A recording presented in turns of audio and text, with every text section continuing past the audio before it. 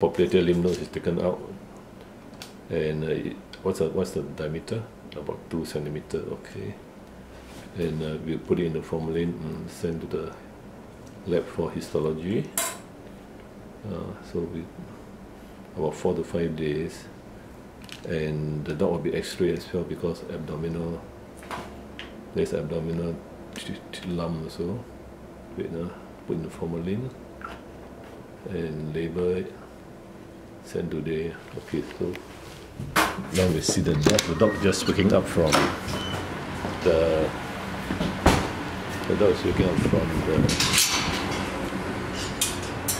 the anesthetic. So you can see that uh, popliteal lymph nodes, the right one has been taken out. Now the dog also has swellings in the scapular area.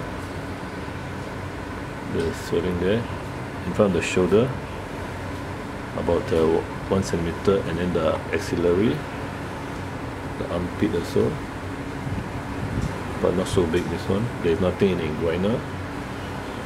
No, no swelling in inguinal, and. Uh, active dog still. The blood test shows slight increase in the liver enzymes. Other, otherwise, overall, the results are normal. Red blood cells, white blood cells, uh, platelets are normal.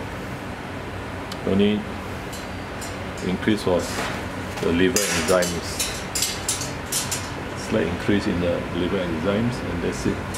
But uh, there's a big swelling here, which can be palpated, is mid-abdominal.